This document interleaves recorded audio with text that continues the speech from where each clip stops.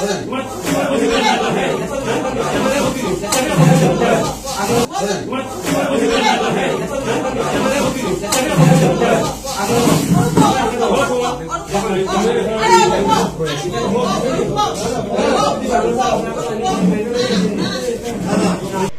এইরকম ঘটনা আমার সাথে পূর্বে কখনো হয়নি, কিন্তু এই ঘটনা হয়েছে, প্রশাসন ডেকে নিয়ে প্রশাসন আমাকে সেই জায়গাতে মাইর খাওয়াচ্ছে, কিন্তু সেই আসামিকে গ্রেফতার করা হয়নি এবং পরিকল্পিতভাবে সেটা ভিডিও করে সেটাকে ভাইরাল করা হচ্ছে।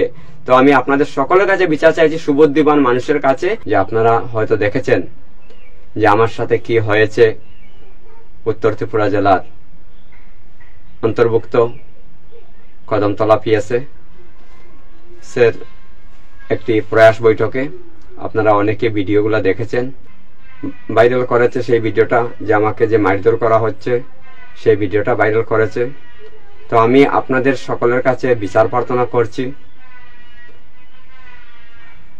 যে একটি সামাজিক বৈঠক ডেকে, বৈঠকের মধ্যে আমরা যদি, গ্রামের মধ্যেও যদি কোনো সামাজিক সভা হয়, যে একটা সমস্যা নিয়ে বসা হয়, সেই সভাতেও মধ্যস্থকে কখনো কেউ আক্রমণ করতে পারে না বা সেখানে গিয়ে যখন মধ্যস্থ হিসেবে আমার আলোচনা করতে হবে বা কথা বলতে হবে, আমি আমার কথা বলতে গিয়ে কথা যখন বলা শুরু করি, সাথে সাথেই এই অরূপ দে নামে সেই ব্যক্তি আমার উপরে চড়াই হয় এবং আমাকে প্রথমবার সে তেড়ে আসে মারার জন্য।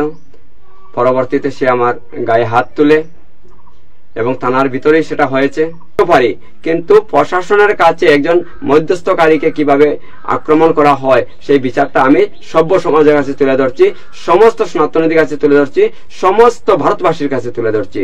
যারা আমার ভিডিওটা দেখছেন, আমাকে আক্রমণ কিরম করা হয়েছে, সেই আক্রমণের প্রথম উদ্দেশ্যটাই ছিল এটা নয় যে আমাকে আক্রমণ করব, যে আমার মানহানি করা হোক এবং আমার সংগঠনটাকে কীভাবে নষ্ট করা যায়, কীভাবে সংগঠনের বদনাম ছড়ানো যায়, যে তোমাদের প্রেসিডেন্টকে আক্রমণ করা হয়েছে, তোমরা কি করতে পেরেছ, এই ধরনের যদি তাদের মনোভাব থাকে প্রশাসনিক ভাবে সেখানে ক্যামেরা ক্যামেরা রেকর্ডিং হয়েছে, কারণ পুরা পিএসটাই ক্যামেরায় মুড়া আছে।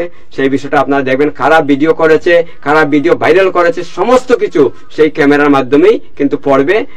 তাই প্রশাসনের কাছে আমি আবেদন রাখছি, সভ্য সমাজের কাছে রাখছি যে আমি মায়ের খেয়েও আমি আপনাদের কাছে বিচার চাইছি। যে ব্যক্তি করেছে, সেই ব্যক্তির নাম হচ্ছে অরূপ দে, বাড়ি উত্তর হুড়াতেই আছে। তো এই এখানে ঘটনা হয়েছে, এখন পর্যন্ত তাকে অ্যারেস্ট করা হয়নি প্রশাসন ব্যবস্থা নেয়নি।